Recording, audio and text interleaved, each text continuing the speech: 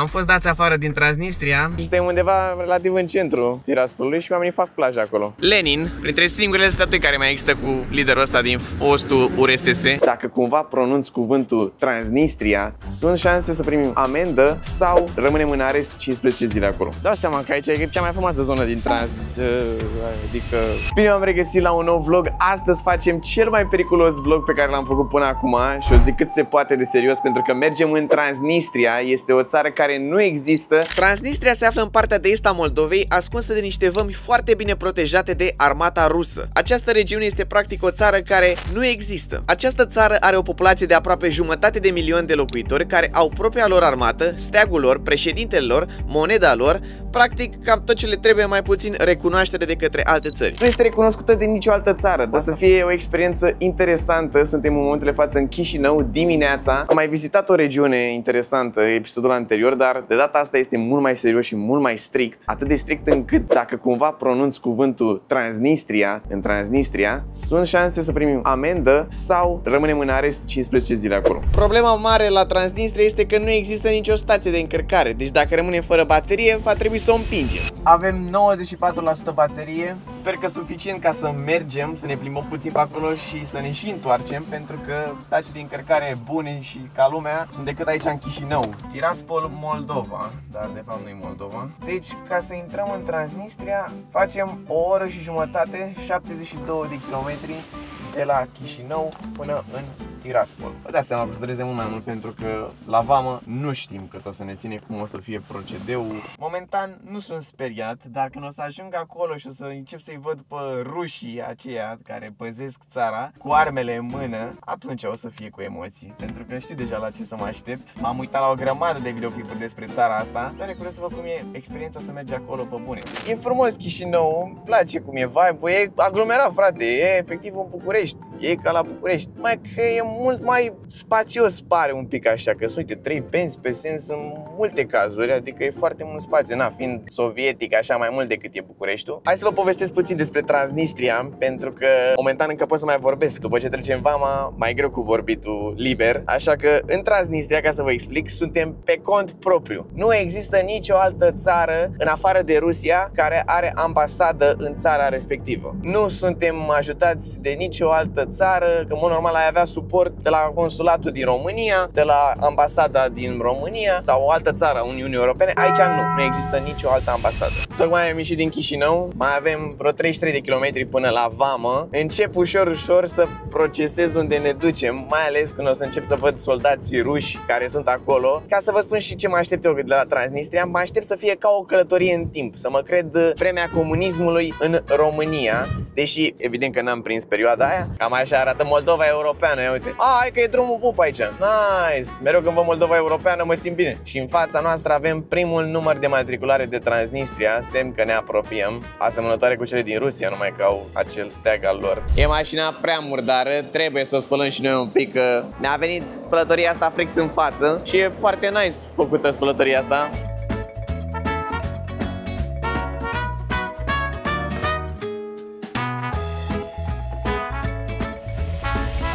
Am fost uh, refuzați pentru că nu aveam asigurarea printată Dar am reușit să facem rost de asigurare Așa că a doua încercare să intrăm. Hai să vedem. O să zic ăștia că Oficial am intrat. După ce am fost dați afară inițial din această țară, care nume nu prea e bine să spun, am intrat într-un final și aici totul e în rusă 100%. Și suntem oficial într-o țară care nu există, bă, frate, singura din lume care nu există, gen practic o țară care nu există. E ciudat rău semaforul ăsta că e invers spus. Mă duce în eroare. Ca o concluzie la vamă, nu e complicat să intri și cu numere de România și toate astea. Problema este că noi nu am avut uh, asigurare imprimată. Ok? Trebuia să avem asigurarea pe hârtie, care rest a fost tot ok. Ne-a întrebat, turist? Turist. A înțeles care e treaba. Mă enervează la zona asta că nu înțeleg deloc semnele. Scrie doar în rusă. Semnele sunt doar în rusă, nu scrie. Și trebuia să fac dreapta. Traversăm Nistru acum. Asta separă Transnistria, dar în zona asta este și peste Nistru. Pare că scrie Tiraspol aici. Am intrat în Tiraspol și în stânga avem baza sportivă Sheriff și cu hipermarketul Sheriff, ia uite. Ca să înțelegeți, toată țara asta este în principal controlată de Sheriff. Lucru interesant, echipa asta, Sheriff, a bătut Real Madrid în Champions League cu scorul de 2 la 1. Nu e rău aspect, asfaltul e bun. Bă, chiar e bun. Mă așteptam să fie jale asfaltul. Aparențele sunt bune. Asta este clădirea guvernului și în fața clădirii se află Lenin. Printre singurele statui care există în Europa cu Lenin, liderul cu RSS. Și de acum cu pe josul. Am parcat undeva în centru, sper că am parcat legal. Dar bă că sunt și alte mașini parcate, așa că n-ar trebui să fie o problemă. Am văzut numere de Uniunea Europeană, dar nu de România, Estonia. A, uite, oamenii fac plajă acolo și suntem undeva relativ în centru Tiraspolului și oamenii fac plajă acolo. Mamă, cum arată aici, frate. Mă duce cum gândul la Corea de Nord un pic tancul și steagul Rusiei și al Transnistriei în spate, iar tancul e îndreptat către Chișinău, by the way. Ia zi, domnule, cum e până acum? Băi, e interesant rău de tot pe aici, dar în același timp e și, nu știu, e ciudat, e într-un loc care, na. Și așa arată guvernul lor și cu Lenin, printre singurele statui care mai există cu liderul ăsta din fostul URSS, Uniunea Sovietică. Vezi acolo steagul Rusiei. Transnistria și Rusia. Și aici niște steaguri, nu știu exact de ce, dar unele steaguri sunt de la țările care recunosc țara asta. Dau seama că aici e cea mai frumoasă zonă din trans... Adică... Transnistria. Am zis că nu avem voie să zicem asta aici. Bine că nu sunt ăștia pe aici, prin zonă. Încercăm acum să schimbăm bani, să vedem cum arată cele transnistriene. Așa arată lei moldovenești. Hai să vedem dacă reușim să facem rost de bani. A few minutes later. Am reușit să scoatem bani, cam așa arată, zici că bani de Monopoly. Ne-am cumpărat și niște monede speciale de plastic ambalate foarte mișto, așa ca un suvenir, foarte nice. Monedă de 3 ruble. Asta valorează 2 lei. Și cea de la casă știa limba română, era de aici, dar știa să vorbească. 5. 5? 5? Bă, deci nu știi cum, Ține cum se zice Scrieți în comentarii cum se zice ru- mulțumesc. Atât, nici măcar asta nu știm și noi. Cum se zice mulțumesc în rusă. Acum am aflat. Spasiba, ok? Spasiba, mulțumesc.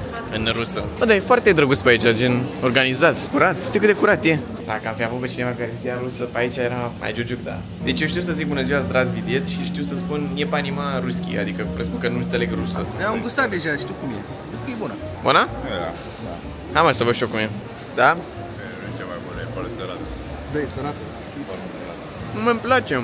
Băi, într-adevăr, e sărată, dar e normal. E bună să dă oaie, nu? Uh-huh. Mergem să mâncăm și noi ceva ca lumea, așa că mergem la o cantină sovietică. Și ce am realizat în drumul mașină este că cred că dacă noi rămânem fără pașapoarte, efectiv nu mai avem nicio cale de scăpare de aici. Pentru că nu avem la cine să apelăm la ajutor, pentru că am zis, odată ce am intrat în țara asta, nu ne mai ajută România, consulat, nu există ambasadă, nu ne mai poate ajuta nimeni cu să ne aducă pașaport, să ieșim cumva, nu știu. Problemă nouă, nu ne merge netul de niciun fel, nu avem Maps, că nu știu de ce nu funcționează Maps-ul de niciun fel, așa că ia și găsește Andrei cantina acum, că nu ne funcționează Maps-ul. Și am ajuns la cantină, care nu știu cum arată în interior, dar l-avem pe fratele Len de aici. Pe tine?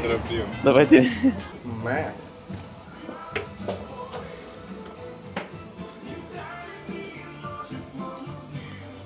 Hello. Uh, România, vorbiți română? Nu. Nu. Nu, română. English? Nu, engleză. Yes. Vedem cât costă. 267. Da, da, da. De asemenea. Deci tot ce vedeți aici a fost 267 de ruble transnistriene. Și am luat 3 porții de cartofi cu pui și niște suc cu salată. Important e acum să ne cât de bun e. Hai mă, cât de rău poate să fie? Nu Mâncare, cred că e rău. Ce ai, mă? Nu? Cică salată de murături ala părul meu. Salată de murături. Hai la salată de murături care... Ce căcat, că asta nu sunt murături. Dar nu te uitau voi tu. Hai să vedem astea totuși. Da, hai să vedem asta. Ia te las pe totul gust. Dă-i un... Tot. Dar trebuie să fie bun, mă. Piure, ce Asta poți e să bun. greșești în asta?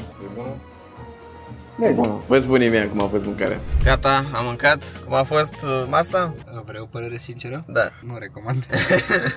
nu prea, nu? N-a fost cel mai strălucit și nici prețul n-a fost să zici, mamă, ieftin, nu știu ce. Mie mi-a plăcut, a fost gen ok, nu m-a spart să mă joc de la pana mea. Era mai mult de ambiență și de toate alea. Cea mai bună chestie a fost asta. Și văd că în fața fiecare clădiri se află domnul Lenin, îl vedeți acolo. Cam așa e aici în tradiția, pe nicio cartelă nu există servis. Hai, cine se dă în rata asta? Ne dăm în rată? Se dă ca de rata asta cu noi? Haide că e safe, 100%. 10 ruble transnistrine să ne dăm în ăsta, dar nu-i nimeni aici, așa că din păcate nu o să ne dăm în roată la caca. Nu e nimeni, putem să intrăm de asta, uite? Putem? Nu avem voie, cred că. Se uitau așa ciudat pe noi. Eu nu știu de ce vrea în parc să ai o mai boxă care cântă muzica. Uite, au o boxă în pom. Ne-a adus Andrei România în lumea a treia. Ia uite-o pe asta. Distracție. Cred că nu mai funcționa în 1950. Băi, ești prost! Lenin. Se dădea Lenin în ea, a? Era tânăr. Nu, dar părălizez că chestia asta cred că încă mai e în funcție. Păi te știu că sunt chestiile astea, semnele astea de plată, cred că. 20 de ruble. Deci, din păcate, n-am putut să ne distrăm la Disneyland aici de Tiraspol. De la Paris aici, la Paris. Nimeni nimic. Nevza care încearcă să învăț. E de crasivă. Acum vrea să învețe rusă ca să se dea la fetele de pe aici. Hipermarket! Am venit la shopping aici să vedem ce prețuri ce reușim să o luăm așa mai unic de aici. Hipermarket Sheriff. Gata cumpărăturile. Ce credeți că ne-am luat? Băutură că, na, ceva autentic de aici. Am luat vin din Tiraspol că sunt ei renumiți pe dastea și băutură în principal așa, ce e mai scumpă. Ce e asta? Nici tu nu știi ce e asta. Rom sau coniac? Ne apropiem ușor, ușor din nou de Moldova. Aoleu, punct militar, mă, ca aș gura Stați un pic că nu prea puteam filma, că erau soldați ruși. Am ajuns la castelul Bender, să parcă și noi undeva, să vizităm. Așa arată cetatea Bender. Acolo biserică și în capă de tot e cetatea. Foarte mișto cum e făcut pe aici. Amenajat, modernizat.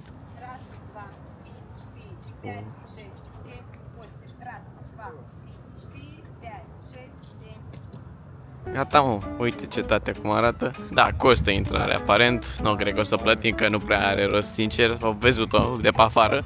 Gata guys cu Transnistria. Ui, adică fac cum fac și tot eu zic ce nu trebuie să zic. Urmează să plecăm din această zonă mai uh, complicată. O să ne întoarcem acasă, dar sperăm să ne lase să ieșim. Acum oficial ieșim. Doamne ajută să fie bine, dar uite că nu e nici coadă. Cred că o să fie lejereanu Gata, am ieșit din Transnistria Am trecut și de zona cu soldații ruși. În fața avem vama cu Republica Moldova. Avem 52% și ajungem cu 39 cică în Chișinău. Deci suntem pe spate și cu batería iar mașina face urât că s-a săturat de drumurile astea pe bune. Am ajuns în Chișinău și avem porțile Chișinăului în față.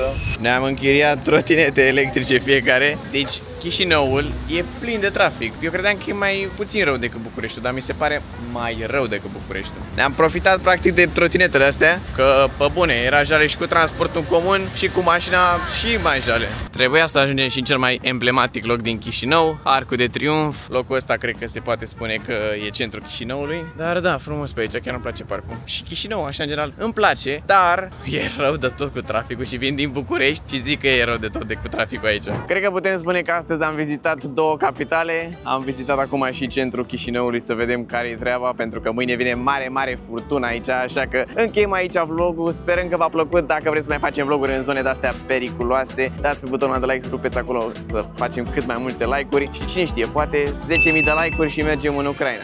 Am zis, hai, vă pup!